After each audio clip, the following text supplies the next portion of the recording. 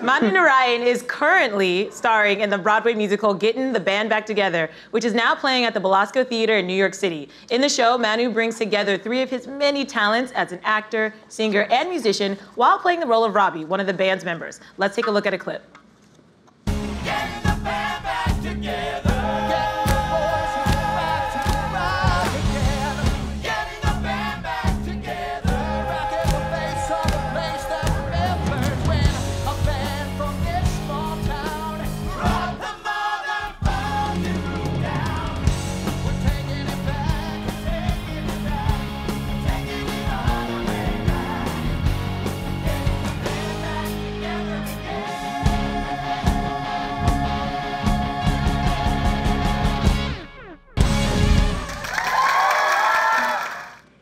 Put your hands together for Manu Narayan.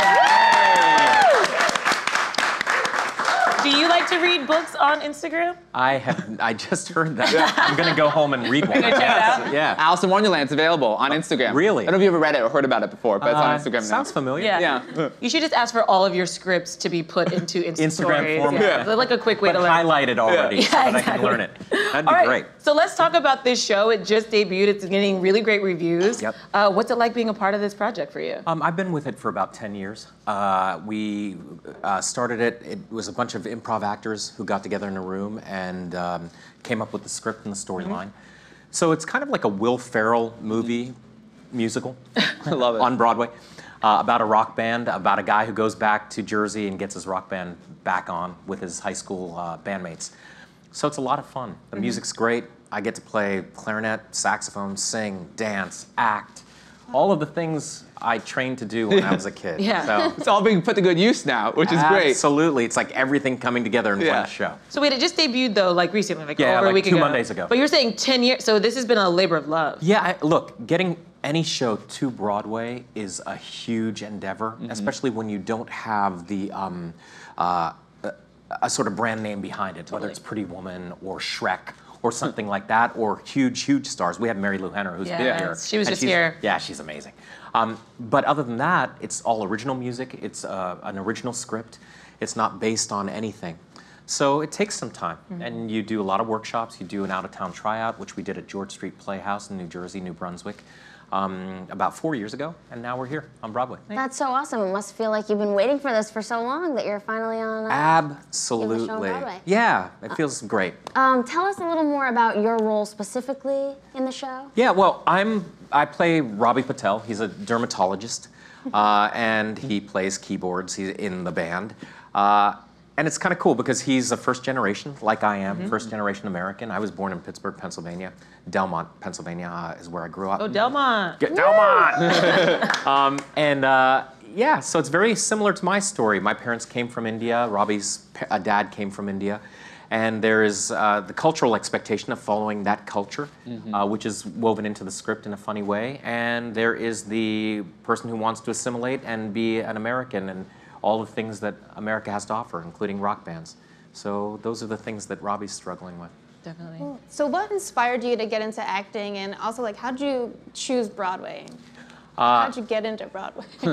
You know, I'd always been uh, a fan of Michael Jackson and stuff growing up, and Yeah. weirdly in Western Pennsylvania. All kind- four of us love Michael, Michael Jackson. Jackson, Big right? Fans. Right, yeah. Huge. Um, and uh, I get to do that in the show every night. oh really? Uh-huh, do you yeah. grab your crotch? I don't. They sanitize that. They You sanitize should. that. do Damn, you can do it Tonight. on the show if you want right You now. can do it right, yeah. There we go. That was very good. Thank you You'd very be proud of that. Thank you. We'll gif that for you. I hope so. We'll blast that. That'd be great. Um, uh, but I grew up listening to country and, country and western music as Right. well, so I love Willie Nelson. I mean, he's a, a hero of mine. Um, and uh, I had always wanted to be on stage. I've always been gregarious, talking to people. Um, and my parents really fostered a support and love of the arts in me and got me to the lessons that I needed to go to, and here I am. Yeah. What instruments do you play again? Saxophone, uh, clarinet, um, keyboards in the show. So, yeah.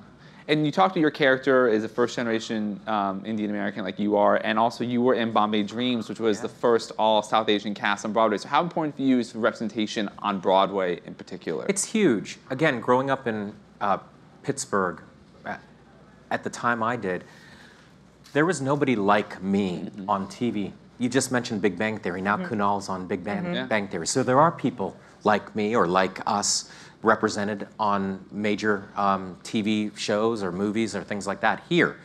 But when I was growing up, there wasn't. So Bombay Dreams really, to me, was one of the first things in a wave of things that now we're seeing the fruition Right. of.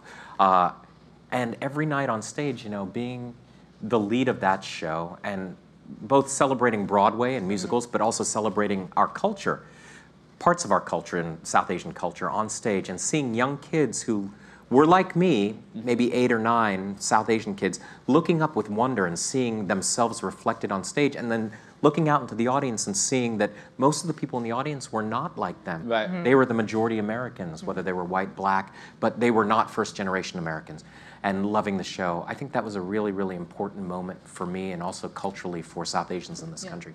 I think it's also you're playing multidimensional characters. You're not playing a stereotype. And I read a, an interview with you once, and you, you said the challenge is seeing yourself first and then making other people see that. So you don't have to fit inside a box. No, that I mean that's the truth, right? Like uh, as an act as actors, we're always forced into boxes, whether that's by our agents, whether that's by what the choices that are given to us, um, who hires us. But the real challenge as actors, I think, for any of us, no matter what we look like, because when you're the leading man type, blonde haired, blue eyed, you still are put in a box. So, how do you keep yourself outside of that box? It's only through your imagination and tenacity and making sure that you see yourself as others do, but also beyond what others see you as, and strive for something else. Beyond the theater, you've been in film, TV, The Love Guru, Nurse Jackie, Grey's Anatomy. Um, w- I'm curious how you compare the two, and what you sort of see in uh, you know your future for your future projects. It's acting, if you talk to actors, acting is similar whether you're on stage or whether you're in a, a film set or a TV set, but the culture around that is different, right? Um, a TV set, everything kind of goes very quickly. Uh, and especially if you're coming in as a guest star, Right. you sort of have to fit in to these long-running shows like Law and Order SVU or Nurse Jackie, or and do your job very quickly and then move on. So it can be for me stressful, Right. a TV show. Yeah. A movie, on the other hand, when I was in The Love Guru and I was there from the fir- you know pre-production through the last shot, I was the last shot, so I was there Right. the entire time.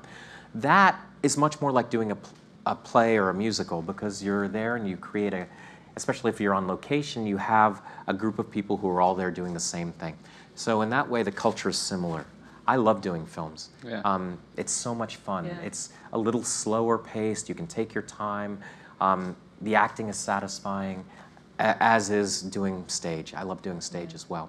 What I'd love to do, I mean, I'm right now currently on hiatus on a Bollywood movie um, called Sabash Naidu or uh, Sabash Kundu, depending on which language you see the movie in. It's in three languages. Amazing. Um, with the great Kamal Haasan in uh, uh, India. So we're waiting to start shooting that again. That'll be a huge, huge thing because one billion people, two billion eyeballs on that will be amazing. Um, and then hopefully get my own TV show. Yeah. Yeah. Put that out there. Yeah. Yeah, right? Why not? Why Why not? not? Huh? I You would- want to go? yeah. And, and then star on Broadway again. I mean, like that, this is a dream come true. The um, when you're on Broadway, I'm always curious about like the schedule of it. Yeah. So how many shows a week is that? We're doing eight shows a week. Okay, so that's eight shows a week. Is that seven days a week or? six days a week, so we get one day off.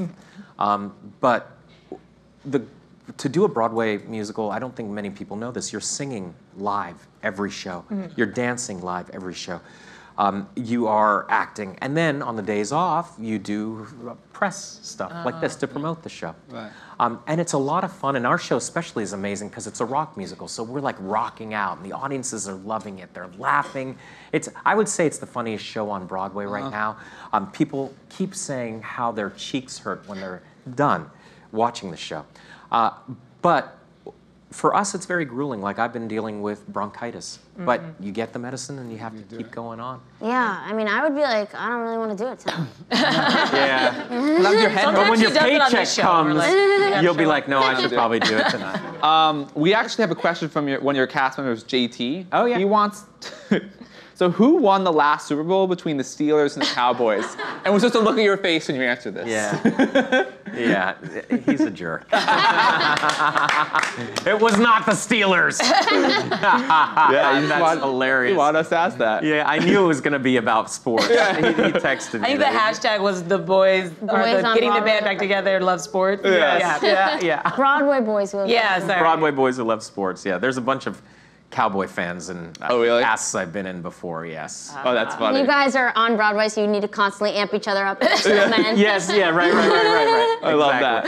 I love how sports infiltrating Broadway. That's actually a great um, storyline to this whole interview. Yeah, and we totally have a fantasy football league starting up. So I Amazing. can't wait. Our That's draft is like in two weeks. Can I join? awesome. Can I join it? You want to? Yeah, no. Why not? That'll be fun. I don't really like sports. We're not big sports people Yeah, on we're not really Billboard. I No, see. it's like sends mixed messages. Yes, Yeah, yes. it's amazing. I'm fun. Well, Nick, thank you so much for joining us today. Thank you so much. you guys. Thank you.